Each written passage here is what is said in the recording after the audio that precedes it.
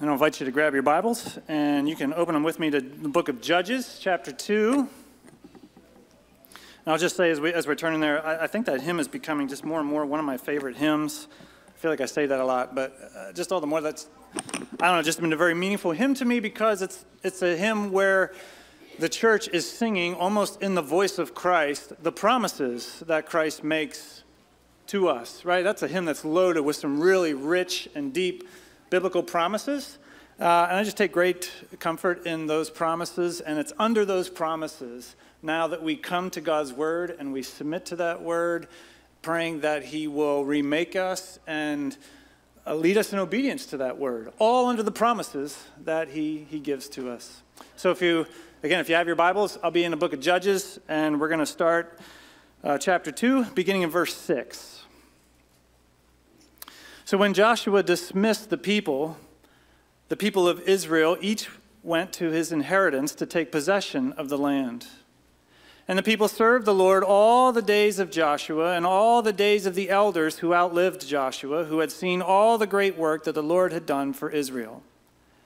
And Joshua, the son of Nun, the servant of the Lord, died at the age of 110 years old.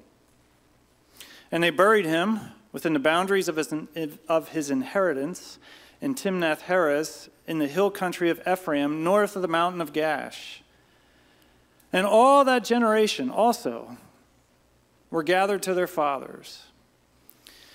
And there arose another generation after them who did not know the Lord or the work that he had done for Israel.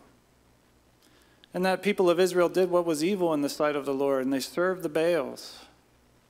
And they abandoned the Lord, the God of their fathers, who had brought them out of the land of Egypt. They went after other gods from among the gods of the peoples who were around them, and they bowed down to them, and they provoked the Lord to anger. They abandoned the Lord, and they served the Baals and the Ashtaroth. This is the reading of God's word for us this morning, and we pray that uh, His Spirit would not only give us eyes to see and ears to hear, but hearts that are willing to be submissive to it. And uh, with that, you may be seated.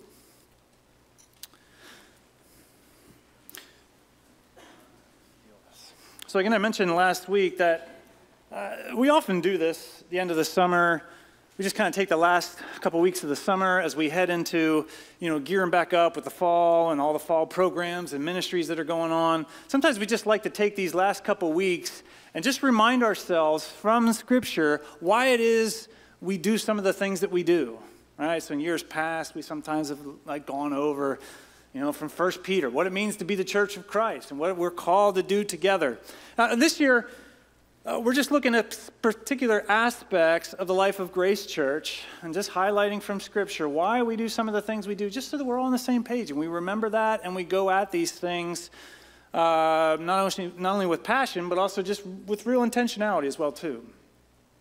And so if you were to actually go down the steps and you would turn left and go down the, to the gym, as you're walking down that hallway, right? You might see, I don't know, a year or two ago, we, we put these big um, poster blocks on the, on the wall there.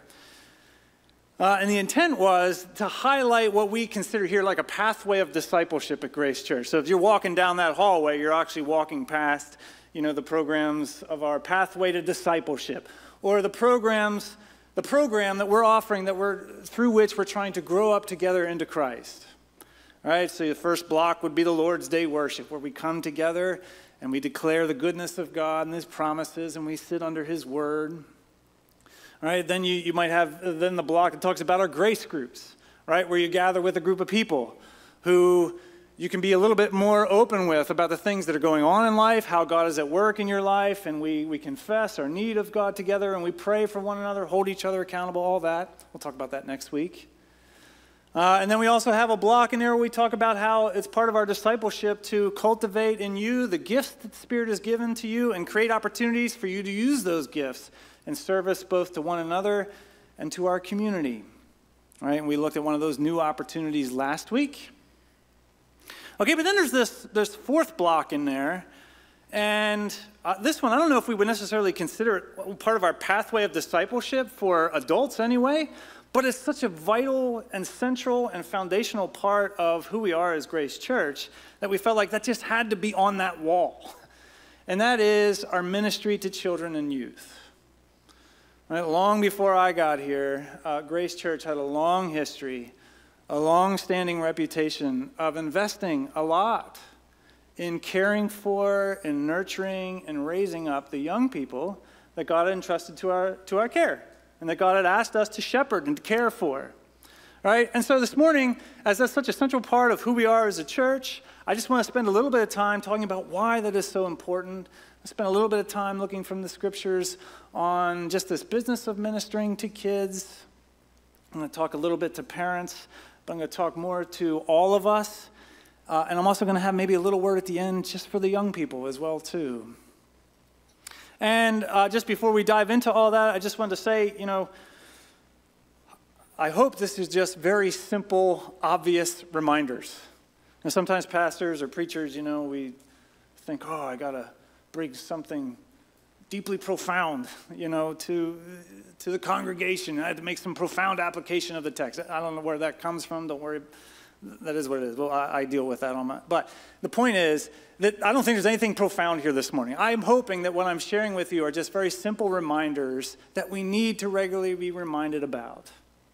Or, in other words, I'm sharing with you things that myself, as a member of Grace Church, and myself as a father of kids spanning 5 to 17, right? Things that I, reg- I know in my head already, but that I, I regularly need to be reminded of, challenged by, and held accountable to.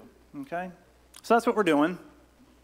And to get us into that, uh, I thought we worked through the book of Judges a little bit here this morning. I don't know if it's because I don't know, we were in the period of the judges last week working through the book of Ruth, so it was just on the mind, or maybe I was in a more somber mood, you know, and so I decided to preach from, from Judges and lead us off with a cautionary tale.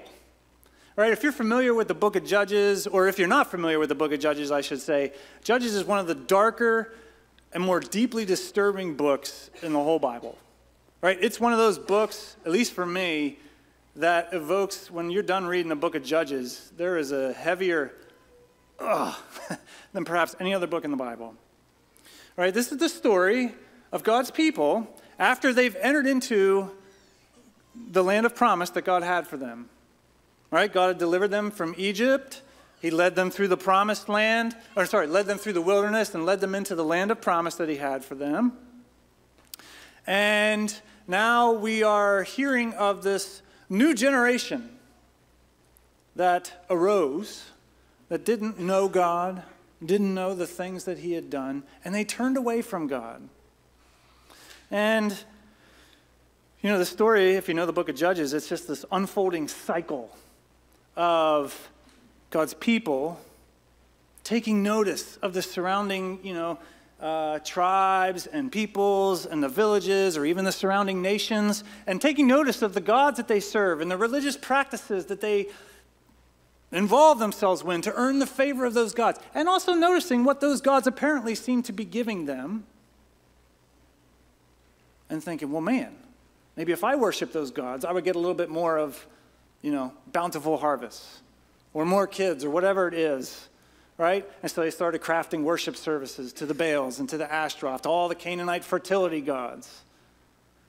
And it wouldn't go so well for them, right? These surrounding peoples, these surrounding nations, they would oppress God's people, and God was not so happy with Israel's covenant betrayal, and so he wouldn't come to their aid.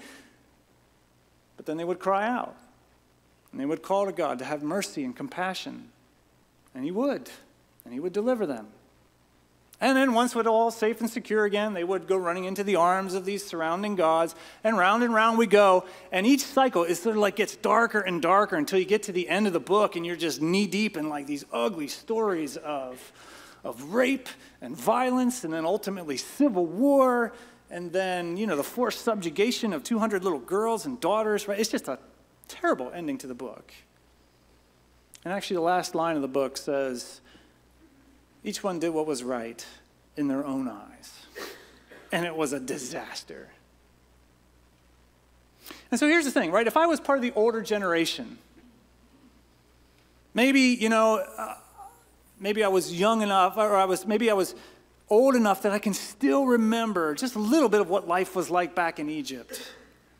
And I can remember how God moved heaven and earth to bring Pharaoh to his knees and to deliver us from oppression under the you know, heavy hand of Pharaoh in Egypt.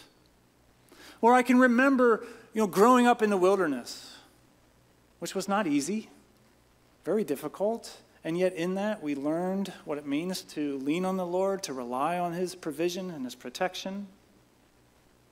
You know, and then we remember the excitement about coming into this new land and how God drove our enemies out before us and He settled us into this good land flowing with milk and honey.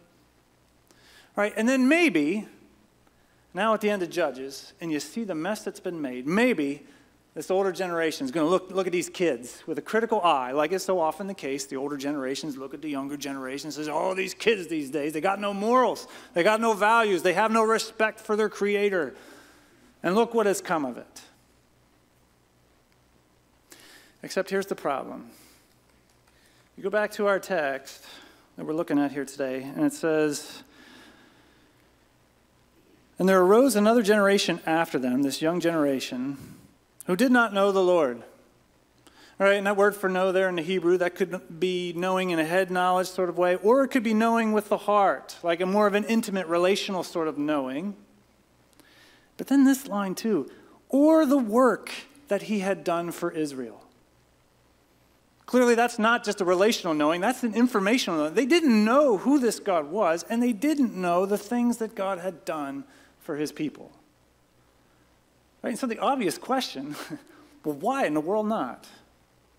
Why not? Why didn't this people, this new generation, understand who God is and understand all the incredible things that God had done for them? Well, I don't know. Probably can't say, well, they were just stuck on their phones all day or they didn't pay attention in their Sunday school classes or whatever. Uh, more than likely, what happened is that the older generation, the generation that had enjoyed all of God's deliverance, all of his provision, all of his blessings in the land of promise, this older generation, as they were busy, you know, in the whole affair of, you know, settling a new land, you know, building a new nation, building, you know, homes. As they were busy doing all of that, somehow, it seems like what got left aside was one of the most fundamental, foundational responsibilities they had, and that was to teach their children who God is and all the things that He had done for them. If you go back into the book of Deuteronomy, Deuteronomy is um, Moses' closing book his final speech to his people before they enter into the promised land.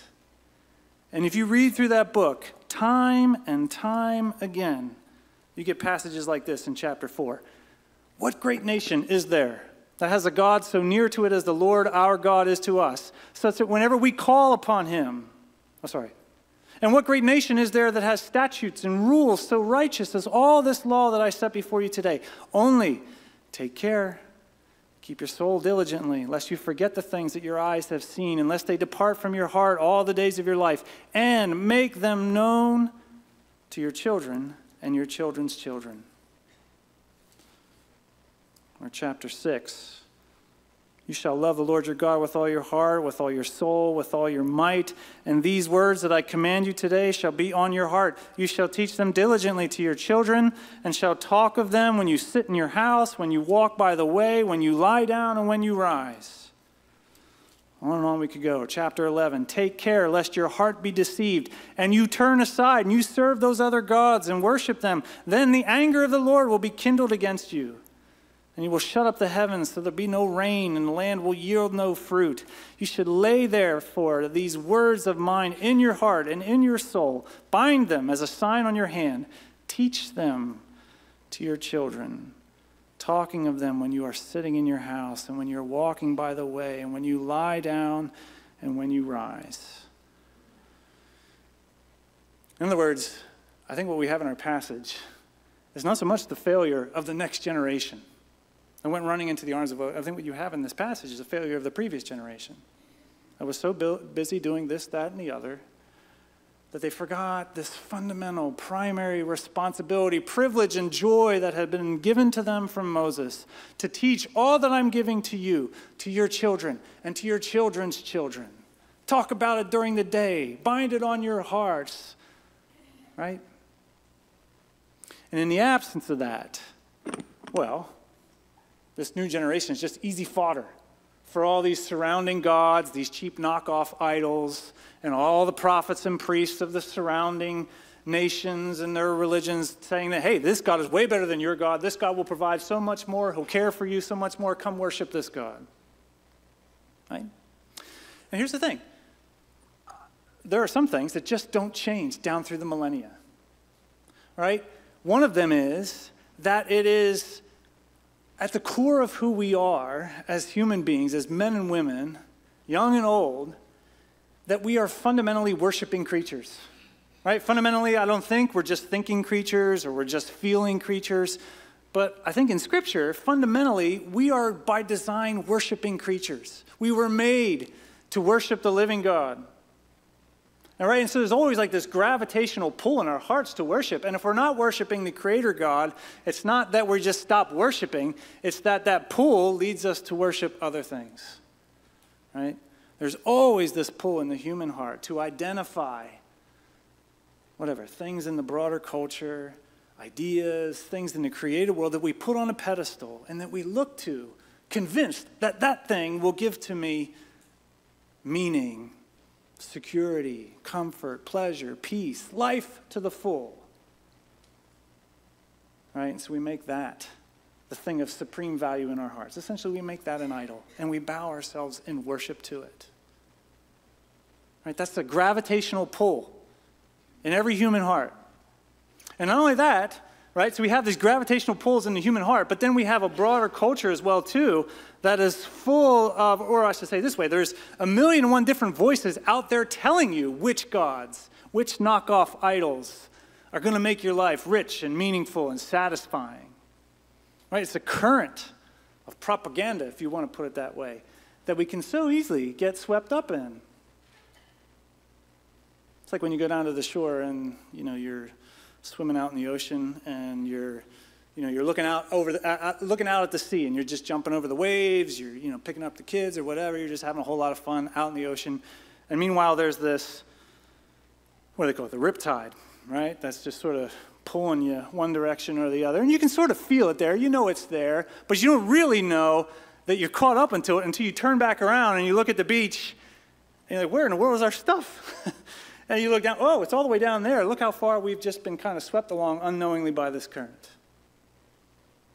I think that's the picture. Right? There's this natural gravity in the human heart to run into the arms of idols. And there's this cultural current that yeah, tells us no, this is where life is found. You bow the knee to this God. You give yourself to all sorts of religious practices for this idol, and this is where life is to be found. or maybe another example. Oh, my family's going to hate me for this. Maybe not. I, I don't know. It seems like uh, uh, any of the conversations I've had with people over the week, the past two weeks, has all been about this mysterious a bear that we came. I mentioned it last week in the sermon. This bear that came that we came across when we were hiking out in Montana when we went out to pick up Callie.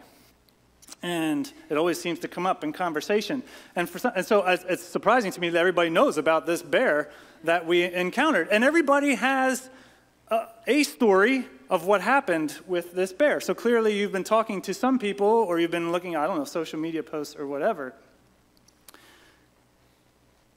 If you want my version of this story, and this is why my family's going to, you know, you go into uh, Glacier National Park or any of these national parks out there, and it's not going to be too long before you come across a sign that says you are entering bear, bear country. And it has a whole list of all these things that you're supposed to do and not do when you come across a bear. And guess which one is first on all these signs? Don't run, right? Stay calm. So we're going our way down this trail. There's really nowhere else to go on this trail because it's pretty steep going up or steep going down off the trail. And we turn a corner, and sure enough, there's this nice little grizzly bear that's moseying down, I don't know, 10, 15 yards in front of us, and he's coming down. So we turn around, and guess what my family does? Kind of run. I'm in a big commotion. Leave me in the dust. I mentioned that last week. Now, to be fair though, maybe they could come back to me and say, yeah, you know what? Because, you know, here's the thing like, I had been looking into, uh, you know, just what to expect when you're hiking. And I'd read stuff about bears, watched some videos on all that. So I had this sort of stuff in my head, and there's the signs. But they could come back and say, you know what? You know, at the end of the day, you never pulled us aside and said, hey, this is what we should do. If you see a bear, it's quite possible. We got to slow down. We just calm down. And I didn't do that. And so, meanwhile, in the absence of that, as, there, as we're out there, there's another whole group of hikers that are there. And I don't think they were local Montanans either. They were just all over. And so when they saw the bear, they just took off and said, Come on, we got to get out of here. And so it's kind of like my family just got swept up in that. I don't know if they heard me saying, hey, hold on a minute, slow down, wait, up. but this kind of stuff in the apps, I don't know if, well, of course I was taking a picture. it's not every day you see a bear. anyway, I was staying calm. I had my bear spray on my hip. I didn't know what to do with the thing. I figured I'd just throw it at it. I don't know, but whatever.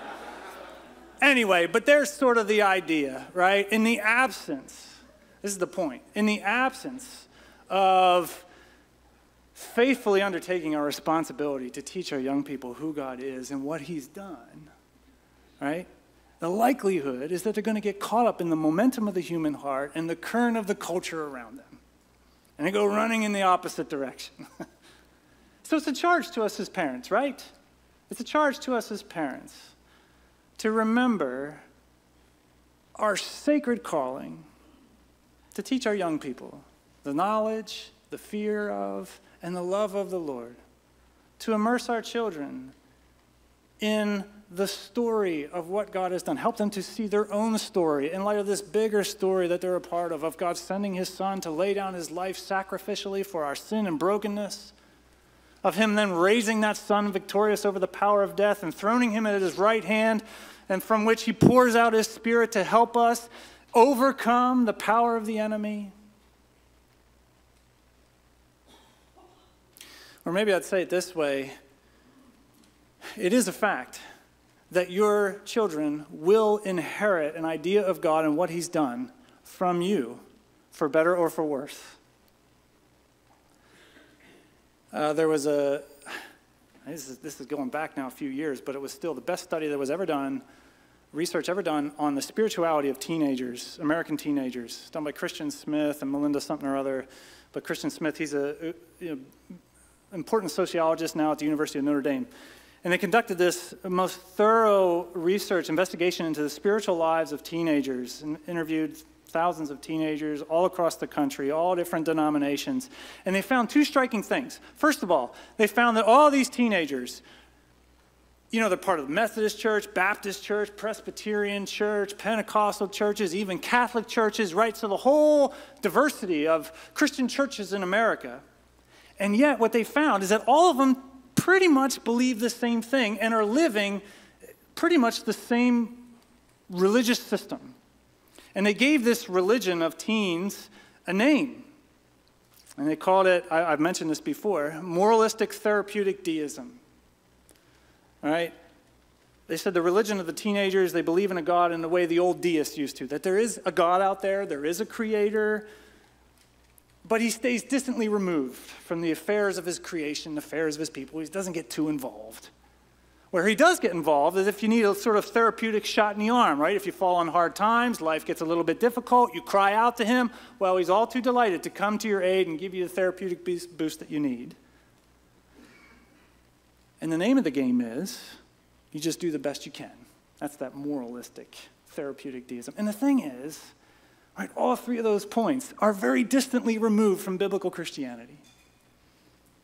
And so, in my early days of ministry, when I was a youth pastor, when that book came out, it was kind of a you know, it was kind of like a call to say, well, what exactly are we teaching our young people that this would be their system? Okay, but here's the second thing. And this founding was even more shocking than the first one. And what they found was is that all of these teenagers, they didn't come up with this religion on their own. And they didn't just magically start believing this unified religion, but actually the religion they had was the religion that they had inherited from their parents. Right? Because they also went and they asked the questions of the parents. And they found that it was the same thing. And what they found was that the religious, spiritual lives of these young people were not fundamentally shaped by their peers or what they were seeing on TV, but it was what they inherited from their parents. Right? And so the fact of the matter is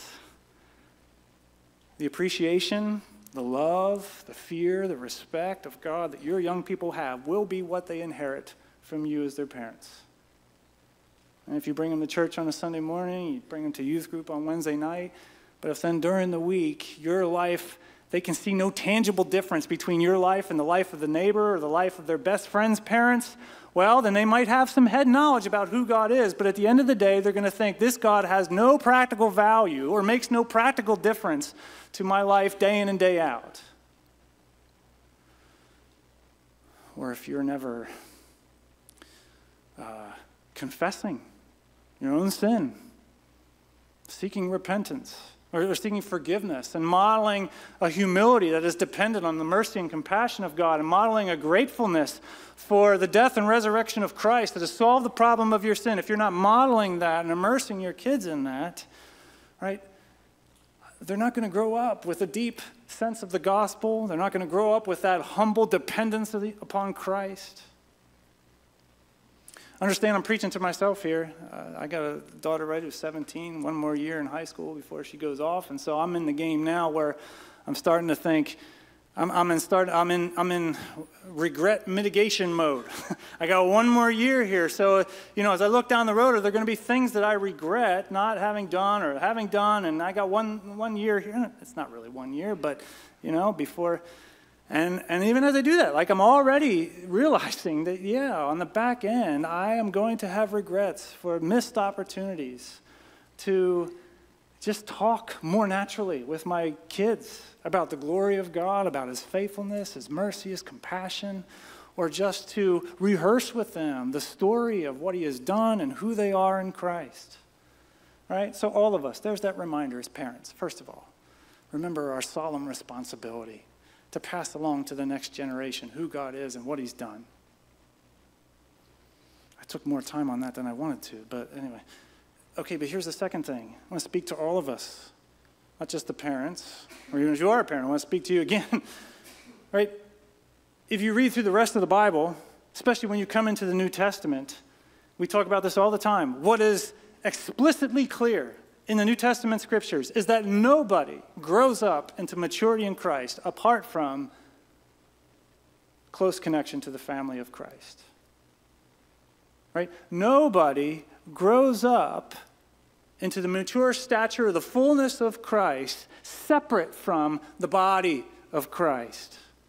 Right? The body of Christ, the church of Christ, not just a group of people who come together on a Sunday morning, sing songs, listen to a sermon, and then maybe go back out in the world and do nice things in the name of Jesus. It's more than that, right? This is a spirit empowered body. This is a group that God has gathered together, that He has invested His Spirit into, has given gifts to, that have real power, and that all of us are in need of. Right? When Christ draws you into relationship with Himself, He draws you into relationship with His family so that He may nurture you, disciple you, care for you within that family. All of us need that. Paul is explicitly clear, whether it's in Ephesians 4 or Romans 10 or 1 Corinthians 12, that no part of the body can ever say to the other part, I have no need of you. The hand can't say to the leg, I have no need of you. I'm okay. I got this on my own. You don't. Paul is explicitly clear. And the simple reminder point that I want to make to you is that the young people also need the life of the body. They need that body life they need that power of the spirit filled body of Christ in relationship and in ministry together. I mentioned when I started off in, in ministry, started as a youth pastor, youth director um, at a Bible Fellowship Church out in Royersford. I didn't know what I was doing. I was a music major in college. So, you know, I went back to seminary and tried to learn as much as I could about young people, about ministry, and also about youth ministry, too. I had, it was just curious questions, you know, how youth ministry developed and I found some uncomfortable things as you, you look back into the history of youth ministry in the church.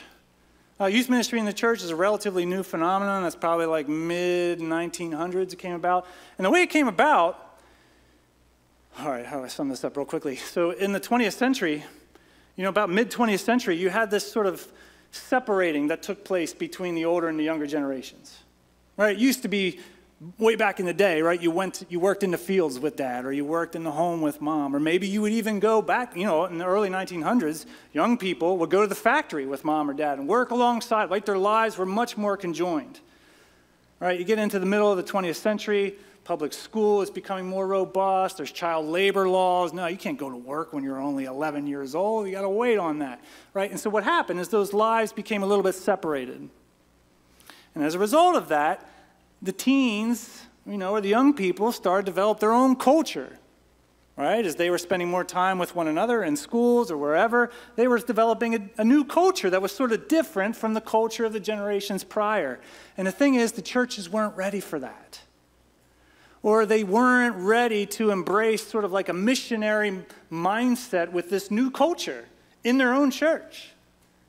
And so they weren't I don't know, speaking the language of this new culture. They weren't answering the particular questions that this new culture had. And this new culture, these young people were starting to flounder. So along came some mission agencies, some parachurch agencies in the United States said, well, we're going to go after these teenagers. So you get groups like Young Life or Youth for Christ saying, hey, we're going after these teenagers that the church is not really addressing. And so they started having these fun events after school where they would get teens together and it would know, do fun things. They would sing songs. They would you know, share God's word in a way that was meaningful to them. And it was working. Kids were coming out to this. They're bringing their friends. And they're growing again. Well, don't you know, churches started to take notice.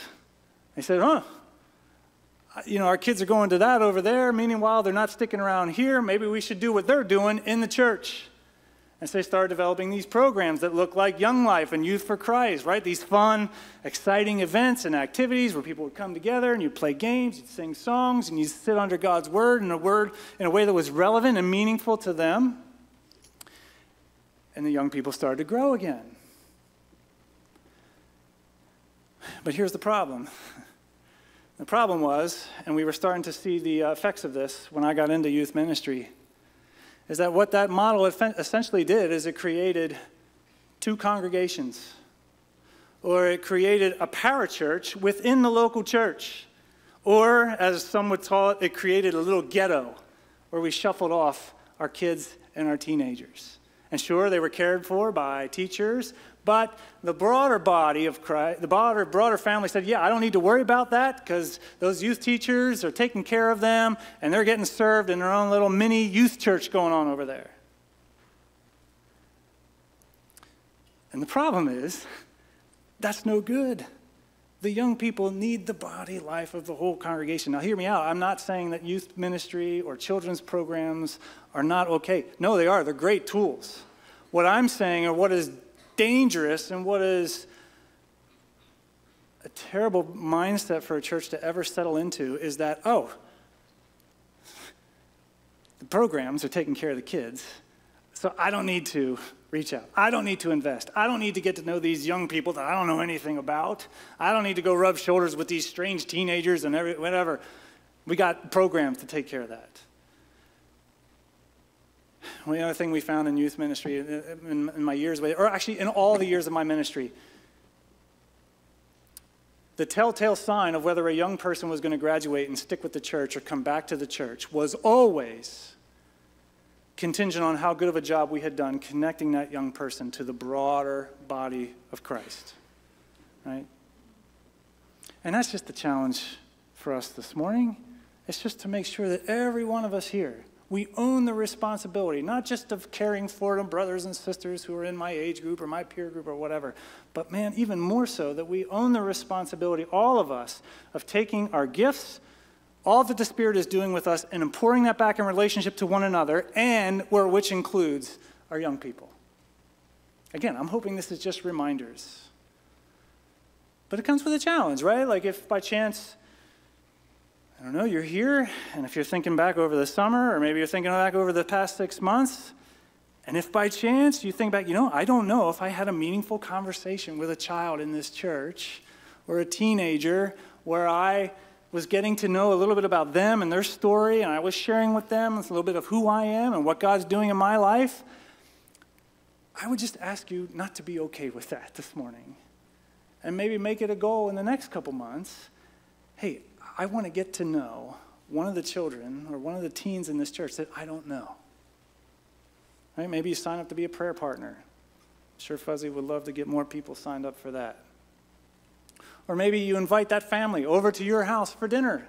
And as you're sitting around the dinner table, you just strike up conversation with the kids and you get to know them or whatever. Or maybe you get their sports schedule or their band and orchestra schedules and you show up at one of their concerts or whatever just to build relationship. Right? Simple things. But it's just that, that call, that reminder to all of us to make sure that we are always caring for the young people in our care that God has entrusted to us. Right? Are on the same page? Simple reminder. Okay, last thing. Hey, close it up. Just a quick word for the young people.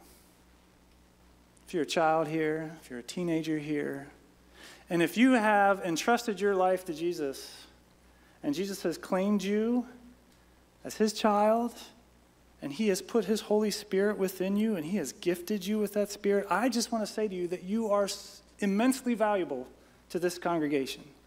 That we need you and that giftedness. I remember sitting with Joey and Leah and right all these folks that wanted to be baptized.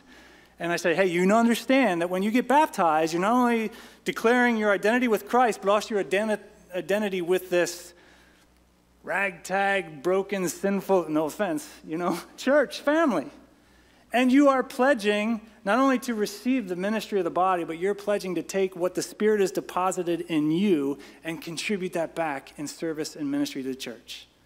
And I just want to encourage all of you we need that. If you have the Spirit of the risen Christ in you, we need the giftedness that He has given to you. If you have the Spirit of the risen Christ in you, we need the passions, the convictions, the things that He is teaching to you. We need your boldness to live as a follower of Christ in a secular world with a group of people that are all just following that current, running after these cheap knockoff idols. Man, we need your excitement, your enthusiasm. No offense to our greeters here, but some of my favorite greeters are some of our young people. Man, those Belandi boys, when they, they make you feel like the most important, or, or the, the group of teenage girls that sometimes sit over here and clap for people when they're coming in. I mean, that's just kind of weird. Probably freaks people out. Probably some people left, but it makes me feel great. I love it. And we need that excitement. We need that passion. We need whatever the Spirit is working in you in ministry here as much as you need us, right?